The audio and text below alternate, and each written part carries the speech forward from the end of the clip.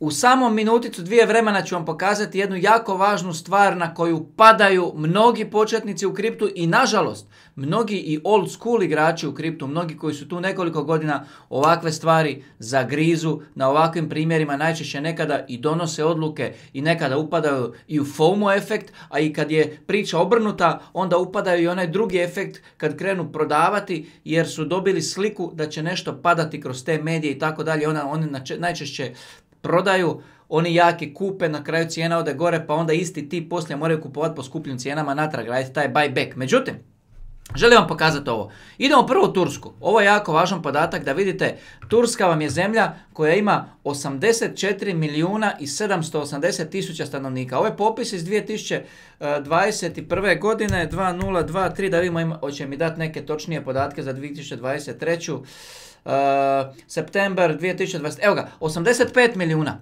Znači, po ovim ovdje brojkama, Turska ima 85 milijuna i 800 tisuća stanovnika. I sada, jučer na Altcoin Daily iskoči ovakav tweet, ne jučer, nego prije 6 sati. Kaže, Turska, 50% ljudi u Turskoj sada posjeduje kripto. Wow, kakva vijest, jel tako? Ovo je vijest ono, super pozitivno, brutalno pozitivna vijest. I onda još dolje u, u, u tweetu ispod toga, kao izvor, stave izbor, izvor kao od dekripta, uh, pola ljudi u Turskoj posjeduje kripto, uh, 18 do 30 godina između ovog, između onoga, KuCoin prijavio report i tako dalje. I vi ste sad ovdje dobili tri informacije. Prva informacija je tko vam je to podijelio. Jedan od najvećih kanala na svijetu, Altcoin Daily. Znači, već, ono, ono, već gledate, ok, nije podijelio bilo ko. Druga informacija je da 50% ljudi u Turskoj posjeduje kriptovalute. Ono, ludilo informacija i taj portal vam je ispod te druge informacije ponudio dokaz, ponudio uh, uh, izvor. Znači, i prosječan konzument Twittera, on dalje nema potrebu da provjerava, da istražuje, da njuška i da bi onda donio odluku na osnovu te vijesti bilo kakvu odluku. Međutim, prije nego što vam kažem točan podatak, reću vam samo jedno. Ništa na ovom kanalu nije financijski savjet, ništa nije kripto savjet, ja nisam financijski niti kripto savjetnik, kripto tržište je rizično i vi uvijek za sebe donosite odluke, bilo kakve. I nemojte da i ovakve stvari usmjeravaju vaše odluke, ali ja vam želim reći dubinu priče. Ja nisam netko ko gleda ovako. Ako mi je netko napisao da je to tako, ne, ja ću gledati ovako. Ja ću sagledati sve strane. Jer kripto tržište je rizično, vraćamo se na to. A kad smo sagledali sve strane, ova anketa koja je zamalo usmjerila vaše mišljenje u jednom pravcu i da se mi razumijemo ljudi, u 6 sati vremena ovu objavu je vidjelo 103 tisuće ljudi, 240 njih je to podijelilo dalje i tako dalje.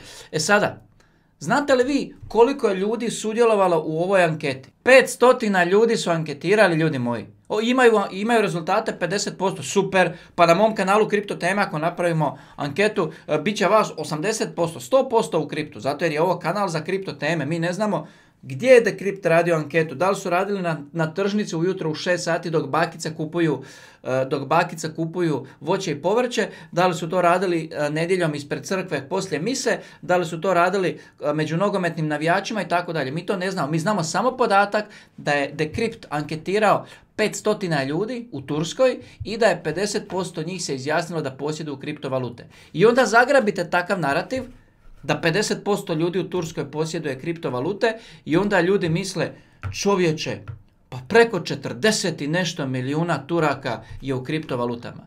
Nije, nego 250 njih, od njih 500 koje su pitali.